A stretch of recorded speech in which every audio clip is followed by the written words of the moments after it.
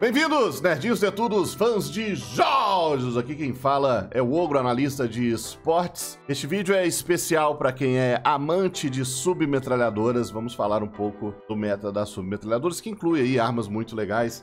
A Fennec, a, a MP5 do Cold War estão numa posição muito legal em termos de TTK, mas elas têm um alcance bem curtinho, são as armas que mais deletam no jogo.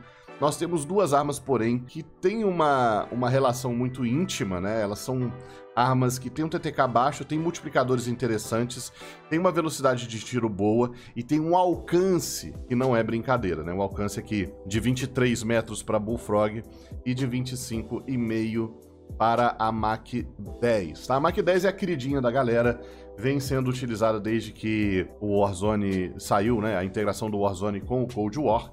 E dá pra ver nitidamente neste gráfico que a Mach 10 é superior. Ponto final, acabou o vídeo, deixe seu like, compartilhe. Que? Não, o que eu tô falando pra vocês hoje é que a Mach 10 não é superior a Bullfrog. Eu quero que vocês entendam agora o que eu acabei de perceber vendo alguns vídeos e fazendo alguns testes. A Bullfrog, na verdade, é melhor do que a gente imagina e tem algumas, alguns motivos para isso que são implícitos, que são escondidos, que a maioria das pessoas não sabe. O primeiro motivo é que a Mach 10 tem uma característica que é própria das metralhadoras leves, que é chamado de atraso de câmara aberta, tá bom? Atraso de câmara aberta. Atraso de câmara aberta é uma decisão no design das armas que atiram muitas munições por segundo e tendem a se superaquecer. Elas fazem com que né, essas armas desenhadas desse jeito, elas não deixam com que a bala descanse dentro da câmara. Dessa forma, quando o gatilho é acionado, a bala precisa ser puxada para dentro da câmara e então disparada. Por que, que o atraso de câmara aberta existe? Durante o uso das metralhadoras, a bala, né, você, o soldado ia e recarregava sua metralhadora com aquele cinturão de 100 munições, a metralhadora estava tão quente que ela disparava sozinha a bala. Né? A bala entrava em combustão, a pólvora da bala disparava, né? entrava em combustão, e o tiro saía sozinho, já puxando pelo sistema de molas a próxima munição, disparando automaticamente, puxando a próxima munição, e aí você tinha um pente de 100 munições que ia sendo atirado automaticamente sem o acionamento do gatilho. Isso era extremamente perigoso. Por medidas de segurança, criou-se o atraso, criou-se a câmara aberta, que é quando né, a, a munição fica do lado de fora e somente o sistema de molas puxa a bala para dentro da câmera quando o gatilho é acionado. No jogo, este atraso é emulado na Mach 10. Então você precisa, na hora de comparar os TTKs, checar esse Open Bolt Delay. Incluir o Open Bolt Delay, sim.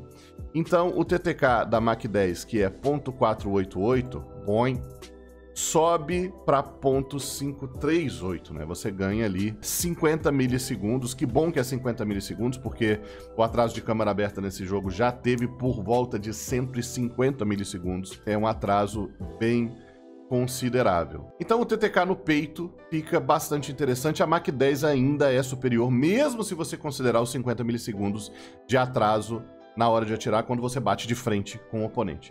Vamos supor que vocês atirem, né? Vocês apertem o gatilho ao mesmo tempo, o botão do mouse ao mesmo tempo.